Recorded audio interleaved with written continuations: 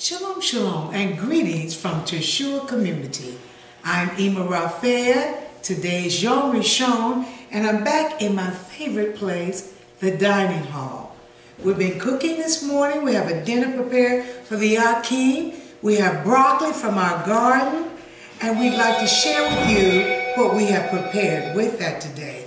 This also this afternoon we have Davida Shalom. and Miss Tiffy. Shalom. All right, before you we have fried chicken wings.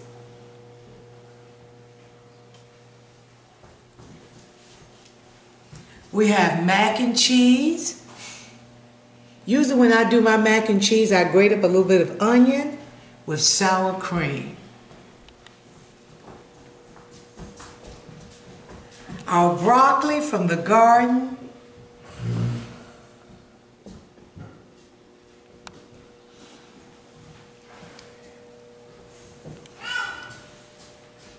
Toasted buns.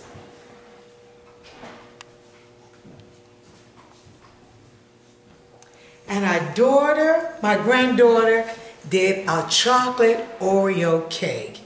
And it looks delicious. Sarai, Shalom. did you enjoy doing that today? Yes, ma'am. I know you did.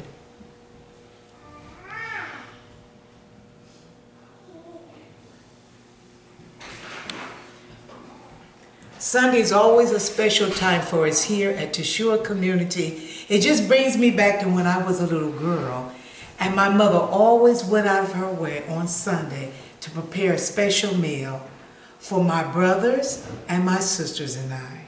So we always have a special meal on Sunday.